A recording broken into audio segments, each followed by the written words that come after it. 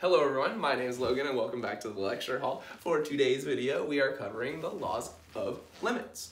So, we know what a limit is. It's our approach as we get to our function as the limit as x approaches a of f of x will equal something and it's whatever that point approaches. And so now we need to figure out, well, cool, we have what a limit is, how do they work? Well, we have that the sum of two limits is equal to the limit of the sums. Um, the uh, difference of two limits is the uh, the difference of so the limit of the difference. The so the limit as x approaches a of c times f of x is equal to that same constant where c is any number c times the limit of that function and then we have product and quotient rules. I would pause and take notes. So two limits multiplied together is the product of their limits, uh, and then two limits divided by one another is those two functions divided and then their limit. To continue with our limit laws, we have that the limit of f of x to the nth power is equal to the nth power of that limit of f of x. We then have the limit as x approaches a of c, where c is a constant. It will just equal c, right? Because we have no function. Well, our function is just that line um, y equals c. Um, and then if we have the limit as x approaches a of x equals a, well, x, we can just plug in a. That's the fact of the matter. We can, we have no domain restrictions. We can just plug it in. Then we have the limit as x approaches a of x to the n. Well, that's going to equal a to the n. And then we have the limit as x approaches a of the nth root of x. Well, that's going to be equal to the nth root of a. And then we get our corollary to these that states that the limit as x approaches a of f of x to the not nth power, but the nth root, the nth root, bang, uh, is equal to the nth root of that limit. So we can screenshot, right?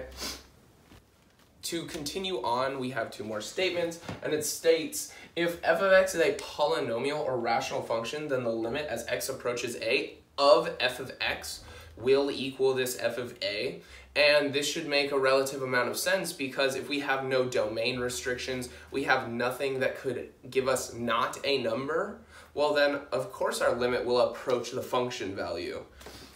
Then if f of x equals g of x when x does not equal a, then the limit as x approaches a of f of x is equal to the limit as x approaches a of g of x, provided that the limit exists. And this should make a level of sense because if the functions are the same, the limits would be the same if they had a limit.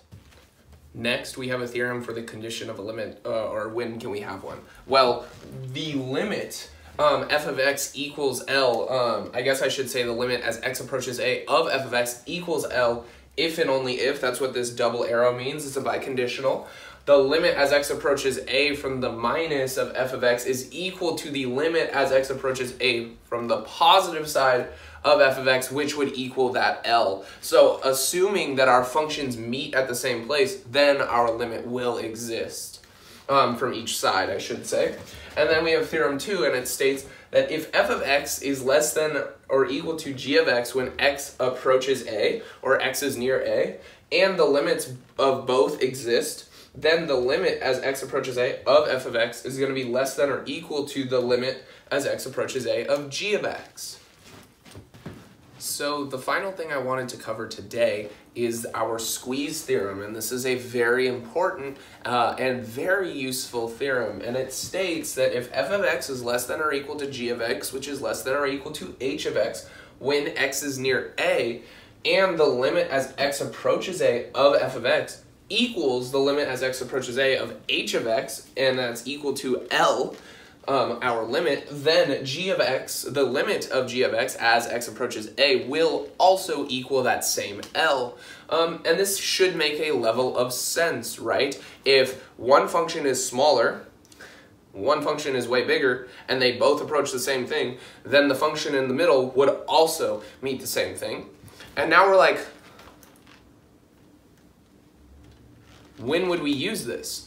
Well, sometimes we get limits of functions that are fucked, right? They you don't know how to uh, interpret something like this, but you know how to interpret something else that is bounded close to it. So if you can find a function that's bigger and a function that's smaller, you can compare it if they approach the same place to your original function and you will get your limit. So that's everything I wanted to cover in today's video. As always, my name is Logan. Thanks for watching. Have a great day. Bye.